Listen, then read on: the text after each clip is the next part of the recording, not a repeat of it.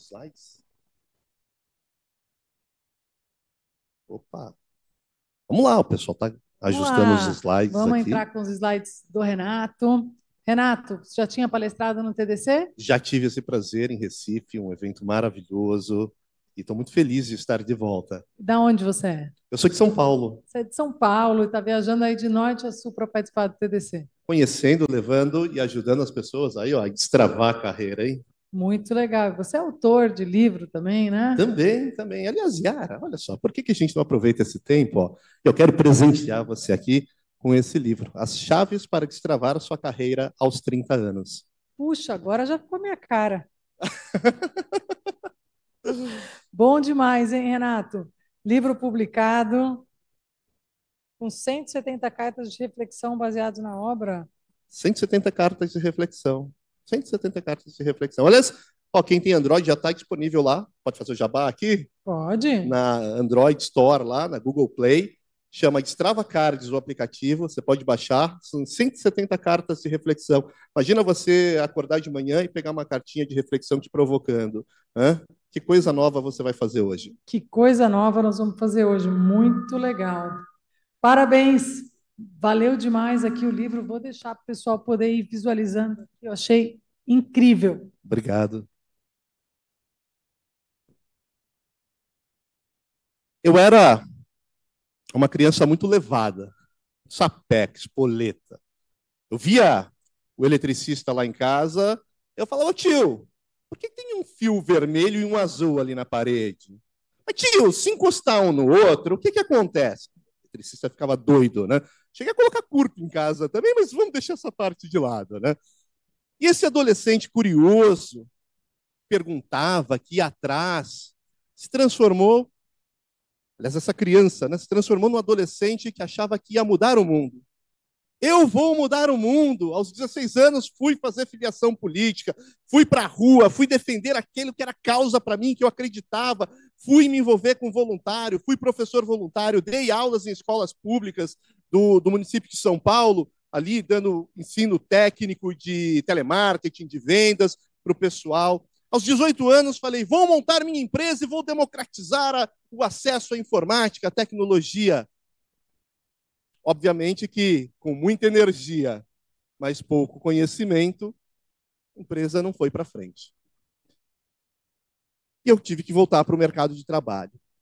Mas nunca deixei de lado esse espírito, sabe, de quem quer ir, quem quer fazer. E assim, eu fui presidir uma organização não governamental, a gente foi fazer jornal de bairro é, todo mês, 10 mil exemplares ali na área de Cidade Ademar, em São Paulo, com notícias, notícias que não é essas que está no noticiário, né, que você torce e sai sangue. A gente falou, por que, a gente não faz um jornal legal, contando das coisas boas que estão acontecendo aqui no bairro? Mas aí, aos 28 anos, meu pai faleceu.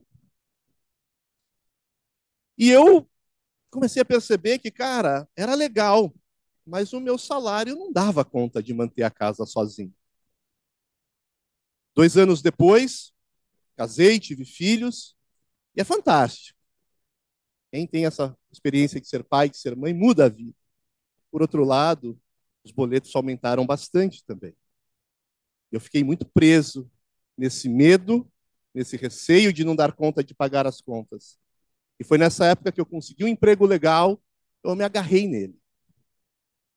Eu me agarrei nele de uma forma, eu comecei a ver que aquele Renato lá de trás começou a deixar de existir. Cadê o Renato guerreiro? Cadê o Renato que ia para cima? E passou um ano, dois, três, quatro, cinco. E o que, que eu comecei a perceber? Eu estava trabalhando para pagar conta. Trabalhando para pagar conta. Trabalhando para pagar conta. De repente eu falei, cara, será que é isso? Será que é isso que eu quero? Eu comecei a me ver numa situação onde eu não era feliz. Eu estava preso, estava aprisionado pela minha situação. Eu falei, cara, eu quero mudar isso. Mas eu era muita teoria. Eu queria mudar. Queria mesmo mas não saía do lugar. E no momento eu falei, cara, deixa eu entender um pouco. Por que, que isso acontece? E se você, você aí de casa, você que está assistindo online, vocês aqui também, talvez estejam passando por uma situação parecida, prestem atenção, porque existem fatores que levam a gente a realmente ter esse desânimo depois de uma certa idade. E a primeira razão que eu descobri é que conforme a gente vai envelhecendo, conforme a gente vai ficando mais maduro, nosso corpo começa a diminuir a produção de alguns hormônios, e um deles é a dopamina. Horas, dopamina, o hormônio da motivação. Quando era criança, meu, vamos para a praia? Vamos! Vamos para a praia? Hum, será que vai estar trânsito, né? Será que. é? Muda as coisas. Mas tem uma razão científica: o nosso corpo está produzindo menos dopamina. Depois, não é só a dopamina. O nosso metabolismo ele começa a ficar mais lento. Cara, aos 15 anos a gente comia uma pizza inteira ainda queria mais, né? Eu tô com 45. Você põe uma pizza ali, eu pego dois pedacinhos, tá bom, obrigado.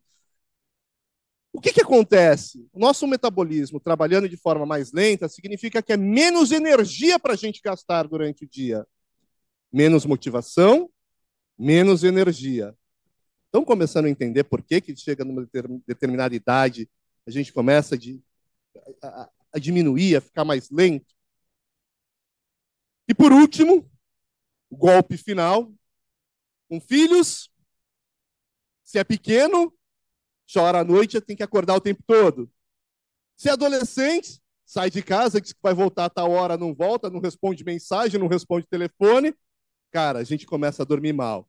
Boleto, tem boleto para pagar, não tem? Tem o cartão de crédito, não tem? E aí, que, que, como é que vai fazer? Às vezes precisa descobrir como que vai fazer para pegar o dinheiro para pagar o cartão que está vencendo daqui uma semana. Então a gente começa a dormir mal. E dormir mal destrói o dia seguinte. Então, junta menos motivação, menos energia e noites mal dormidas. E aí coloca a gente num estado de estagnação.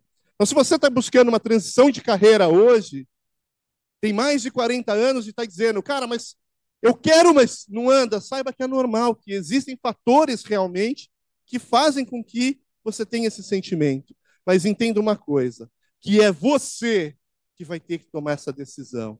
E você vai ter que ir com muita certeza. E foi o que eu fiz. Foi exatamente o que eu fiz. Eu cheguei e falei: acabou! Eu quero voltar a ser aquele Uxa lá de trás, aquela criança que ia para frente, que perguntava, aquele adolescente que acreditava numa causa. Mas por onde começar? Tem algum livro aí que fala? Agora tem, né? A Yara acabou de ganhar um aqui, ó. Mas não tinha, não tinha, não sabia por onde começar. E sabe o que eu lembrei? Lembrei quando eu ia mal na escola, minha mãe falava: vai estudar, menino! Pô, então se eu quero fazer uma transição de carreira, então deixa eu começar a estudar. E foi o que eu fiz. Era o que para mim fazia sentido naquele momento. Eu fui estudar. Fui me certificar, fiz um MBA em gestão, em desenvolvimento humano de gestores pela FGV. E, pô, eu estava feliz. Sabe, estava começando a voltar aquela energia que eu tinha perdido ao longo de vários anos. E aí eu falei, tá legal, como é que eu faço para fazer essa transição? Agora estou estudando, tá legal. Estou trabalhando aqui. Eu preciso desse dinheiro. Tem boleto para pagar, tem conta, tem minha mãe que eu cuido dela, tem meu filho, tem minha esposa, tem minha casa, tem um monte de coisa. Eu falei, bom, então eu vou começar a usar esse aprendizado que eu estou trazendo dos cursos, dos treinamentos na minha vida. E foi aí que a coisa degringolou de vez. Porque era para ser bom. Era para me abrir portas. E de repente meu chefe vira e fala: Oxa, vem cá. Cara, o que está acontecendo? Meu, você está desviando o teu foco. Não é para isso que eu te pago. Volta a fazer o que você fazia. E aí, cara, a cabeça é doida, né? A gente começa a falar, cara, será que eu sou capaz? Será que será que tem como? Será que já não passou da época? Será que já não passou da idade? Será que eu não deveria ficar contente com o que eu tenho? Eu dizia, ah, não, mas eu quero ser aquele Uxa de antigamente, eu tenho que insistir, eu tenho que continuar. Eu continuava, continuava, e quanto mais eu tomava feedback negativo, pior eu me sentia. Até o momento que meu corpo começou a gritar. Eu começava a ter refluxo à noite. À noite estava dormindo, acordava, né, com aquele negócio voltando aqui, horrível. Dormindo mal, Acordava à noite desesperado, não sabia por quê. Não tinha consciência do que esse, essa minha jornada estava me trazendo. Cara, eu cheguei a ter piriri, sabe? No trabalho, lá você está trabalhando, aí bate aquela vontade, você corre ali, ah, vai lá, passa 5, 10 minutos, não sai nada. Aí você volta, você volta para sua mesa, né? suando frio. Volta atrás, 30 minutos depois, dá aquela esquentada, né? Que você sai uh, escondido ali para ninguém perceber, vai para o banheiro, faz 5, 10, 15 minutos, fala, meu Deus, não tá, o que está acontecendo? E aí, cara, o cérebro é doido, porque você fica falando, meu, eu estou indo muito para o banheiro, vão achar que eu estou querendo matar trabalho, vão achar que eu não estou querendo trabalhar, vão me mandar embora, e agora, o que, que eu faço? Eu comecei a ficar doente. Eu comecei a marcar check-ups, falei, cara, eu preciso descobrir o que eu tenho, eu estou doente. Fazia exame de sangue, tudo normal. Ultrassom, tudo normal. Cara, o nosso corpo começa a gritar. Eu estava prestes a ter um burnout e não entendia isso. Até que um dia eu cheguei e falei: acabou. Agora eu tomo as rédeas da minha vida, da minha carreira. E nesse momento, eu faço, assumo o controle da minha vida, peço as contas. E foi aí que o mundo se abriu. Virei head de agilidade das X Ventures, que é um braço de inovação da Ambev, onde tive a oportunidade de liderar uma equipe na construção de bebidas. Depois assumi como consultor de agilidade dentro da Ambev, onde olhei toda a área de inovação, front-end innovation, back-end innovation, e há um ano e dois meses estou como gerente técnico de programa dentro da Ford na construção do veículo elétrico e o veículo autônomo. O que eu aprendi com tudo isso e quais são os três segredos que eu quero revelar a vocês que eu não sabia na época, mas hoje eu tenho muita convicção. O primeiro deles é o que eu chamo de quarto dos espelhos. Isso aqui impede a gente de crescer, isso aqui impede a gente de fazer transição de carreira, isso aqui coloca a gente nesse mundinho que eu vivia, de dar volta, dar volta e não sair do lugar. Imagina que você acordou hoje e você está num quarto repleto de espelhos. Olhou para o lado, espelhos, olhou para o lado, espelho, para cima, para tudo é espelho. É espelho. Qual que é o seu nome? Danilo. Danilo, imagina que você acordou nesse quarto repleto de espelhos. Você olha para o lado, o que, que você vê? Você vê o Danilo. Perfeito. Mas quando você olha para o Danilo, qual que é o Danilo que você vê? Eu via o Ucha sendo zoado na escola. Eu vi o Ucha sendo chamado de Nelson da Capitinga, apelido que eu odiava. Quanto mais você odeia, mais potencializam, né? Aí eu olhava para outro lado, eu via meu pai, quando eu repetia a sexta série, falando: Você é um vagabundo! É a sua única obrigação e você não faz, você não passa de ano! Você não presta, só quer saber de brincar! Eu olhava para trás, eu via meu chefe falando: Chá, vem cá, cara, você desviou tua função, é, você está fazendo outra coisa. Como que a gente se liberta que a gente tem? Eu precisei lutar contra a minha baixa confiança. O quarto dos, dos espelhos representa essa baixa confiança que a gente tem, de achar que todos estão certos, menos a gente.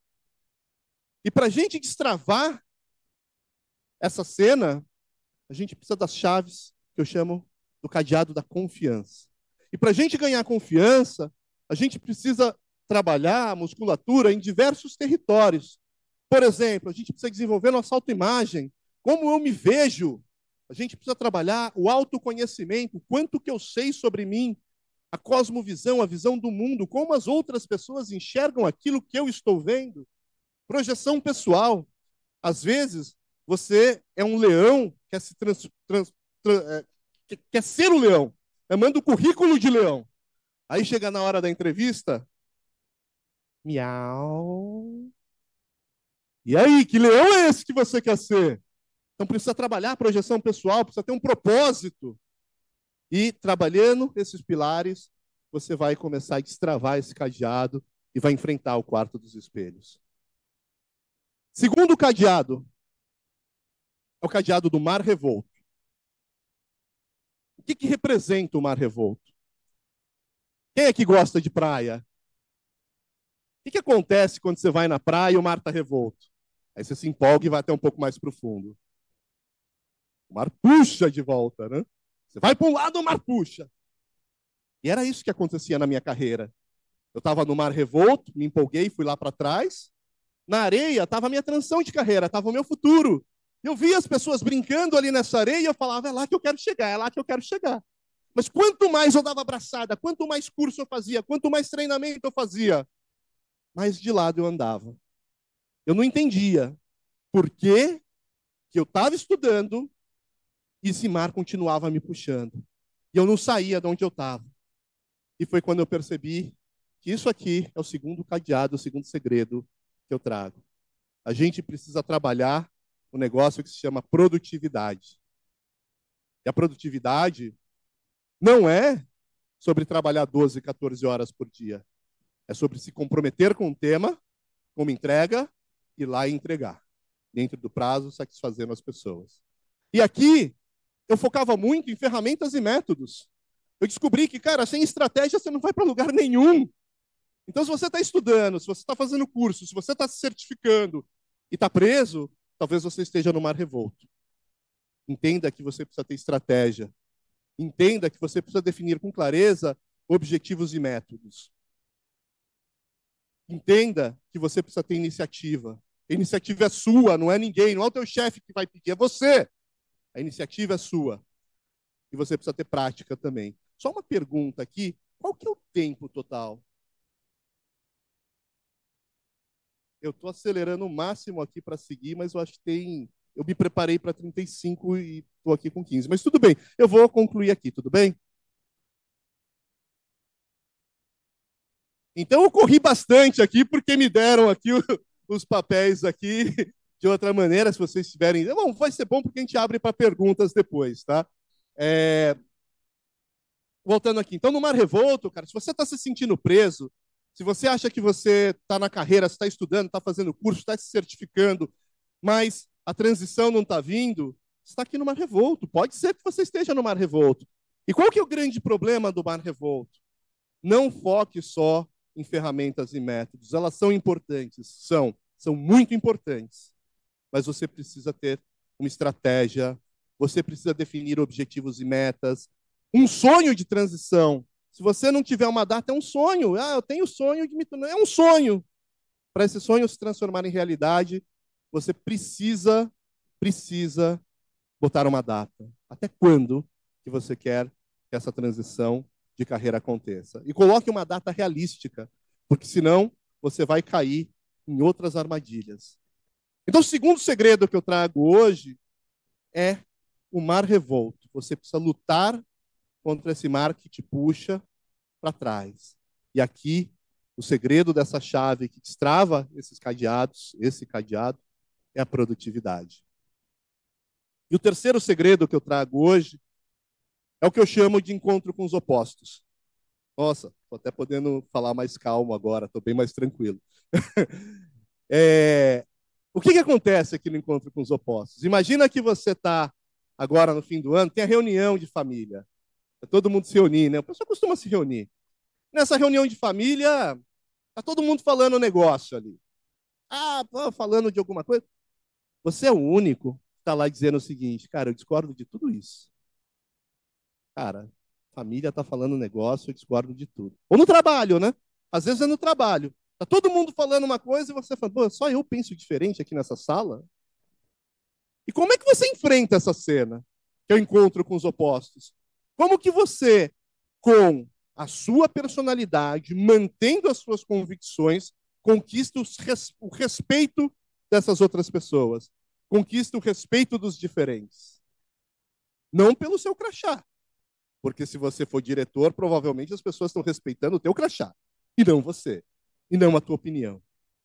E para mim, essa chave foi a mais difícil de ser destravada, porque eu não entendia que ganhar respeito é sobre, primeiro, você respeitar os outros. Quantas vezes eu tinha a minha posição e eu bati o pé, e é isso, é isso, é isso, é assim, eu sei, eu tenho experiência, eu fiz isso no passado. E as outras pessoas? E o respeito com elas, com a forma de pensar delas, entender o lado delas. Segundo ponto que é importante aqui dentro, do quarto do encontro com os opostos, é servir.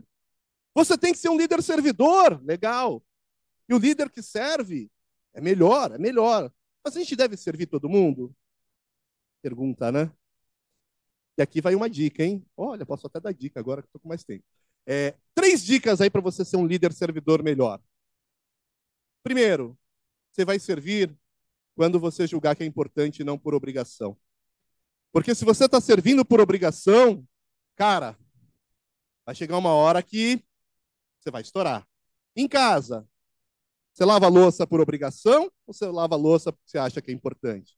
Quem lava a louça por obrigação todos os dias, uma hora surta. No trabalho, igual. Se você está servindo por obrigação, uma hora você vai ficar pé da vida. E o burnout vai chegar e vai, ó, toque, toque, toque. Segunda dica para ser um bom servidor: faço porque é importante. Segundo, minha prioridade primeiro. Primeiro a minha prioridade. Primeiro aquilo que eu me comprometi. Primeiro aquilo que eu já falei que vou entregar. Depois, os outros. Não seja mais egoísta aqui nesse lado, com as suas prioridades, porque você já se comprometeu com outras pessoas.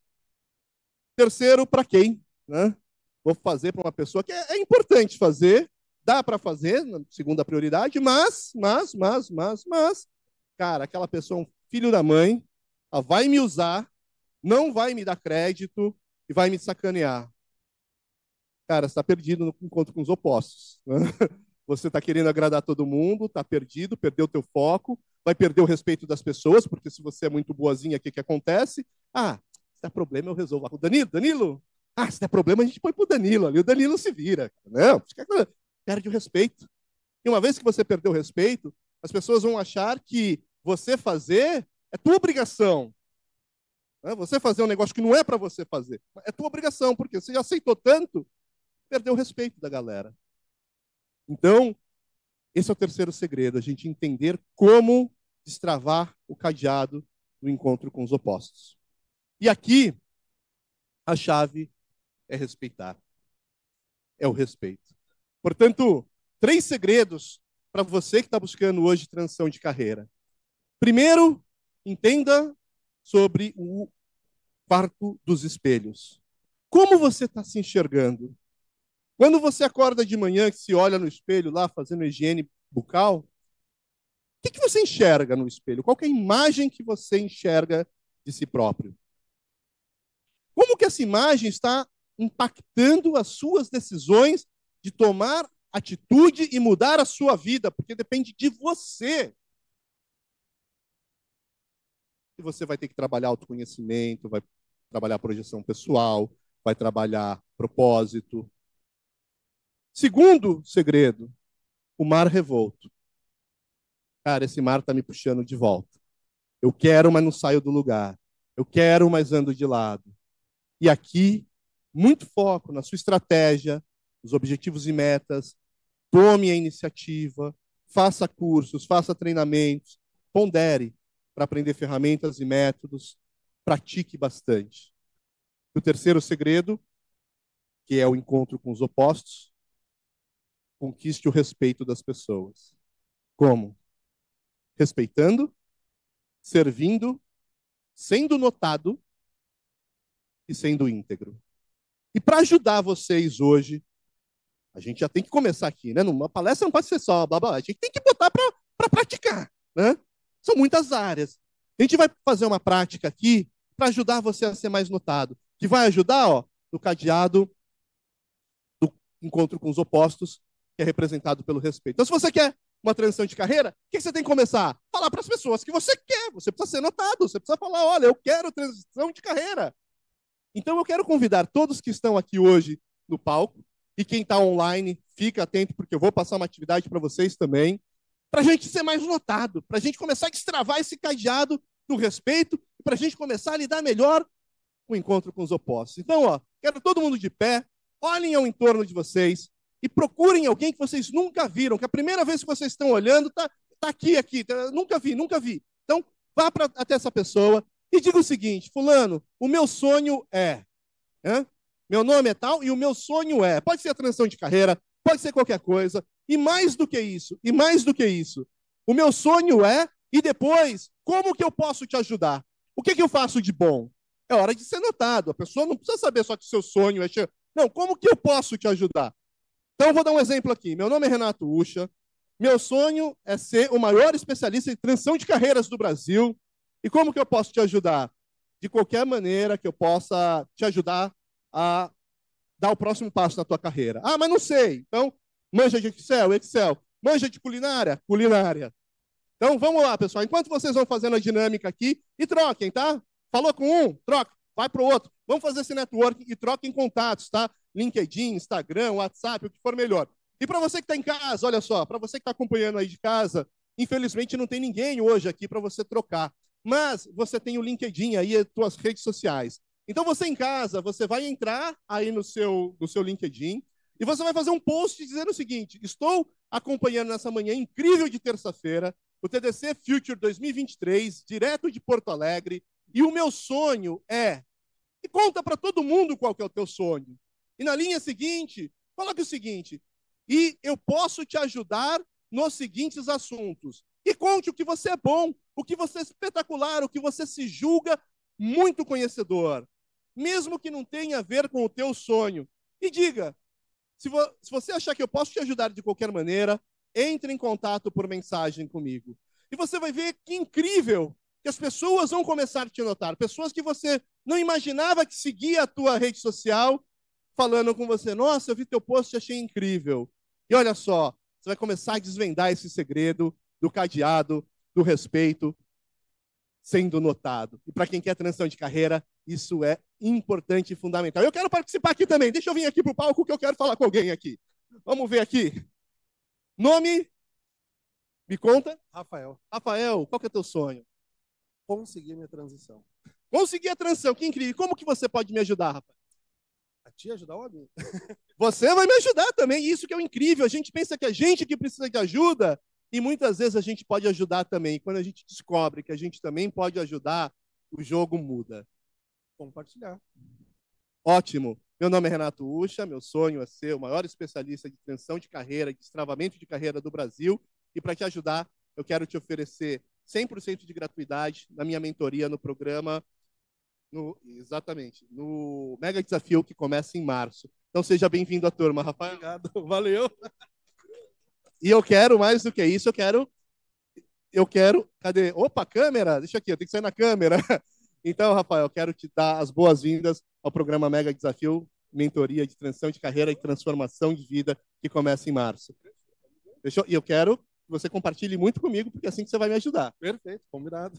Legal. Gente, conseguiram trocar os cartões, trocaram aí informação, um ajudando o outro. E olha só como a gente começa a ser mais notado, as pessoas começam a ver. E ó, vocês que estão aqui presentes hoje, vocês vão perceber o seguinte: vocês vão sair, vão encontrar essa pessoa amanhã no corredor, a pessoa vai lembrar de você. Nossa, eu falei com você. Você é o Danilo. Agora o Danilo aqui, peguei para Cristo, né? Ah, nossa, você é o Danilo, estava lá falando comigo, cara, e aí? Trocou contato, viu o posto? Pô, Danilo, eu vi que legal, cara, meu, acho que eu posso te ajudar aqui. E quando a gente começa a abrir essas amarras, coisas incríveis começam a acontecer nas nossas vidas.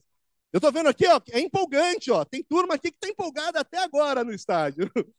É, outra, outro ponto importante que eu quero trazer aqui, pessoal, é que é, é grande, né? São vários territórios. Eu falei de várias áreas que você precisa desenvolver para conseguir essa transição de carreira. E tem gente que olha para esse mapa e já fica desesperado, né? Ai, meu Deus, e agora? Por onde eu começo? Cara, é muita coisa. O marketing diz, né? Dá três opções. A barata, que você não quer, a super cara, para acertar o preço, e a intermediária, que é onde a pessoa vai vai se vai ser o alvo para você vender, né? E agora eu estou dando 17 territórios. E aí, Yara, por onde que a gente começa? E agora? Eu vou começar pela minha visão de mundo? Eu vou começar me projetando o leãozão que está... Miau. Não, não pode ser.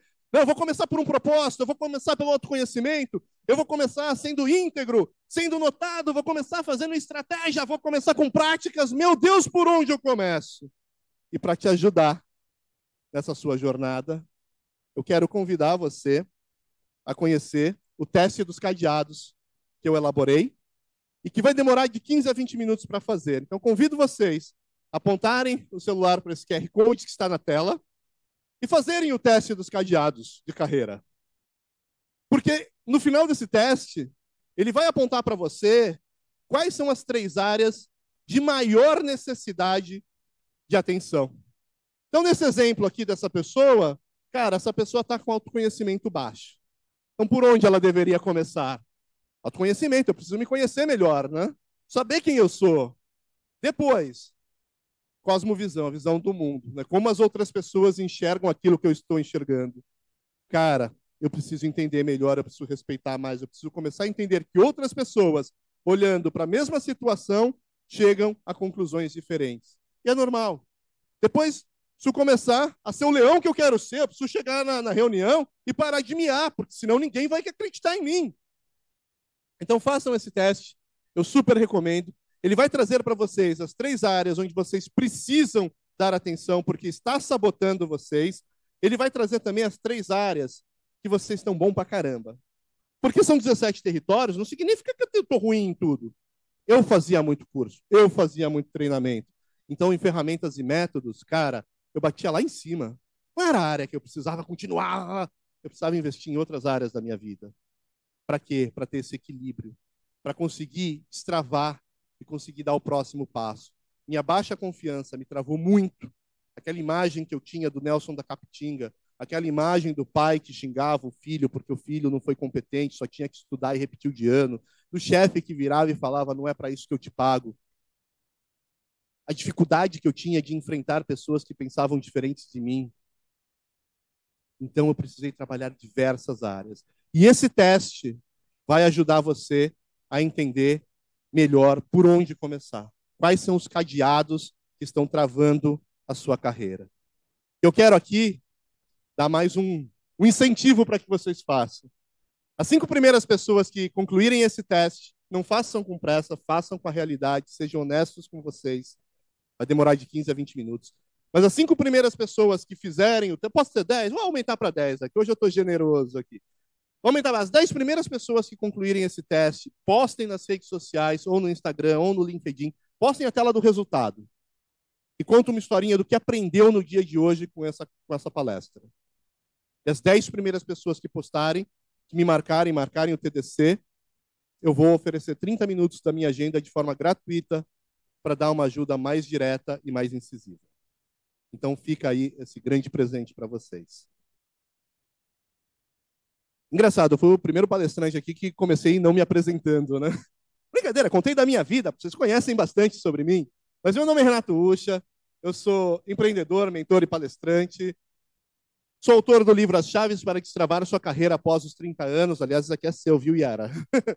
é, e eu quero aqui presentear não só a Yara, mas eu quero presentear a organização do TDC, Yara, e deixar um exemplar também para que vocês sorteiem para as pessoas que estão aqui, para as pessoas que acompanharam essa trilha e para as pessoas que realmente estão engajadas, querem e vão fazer essa transição de carreira, mesmo após os 40 anos, mostrando que sim, que é possível ser feliz depois dessa idade.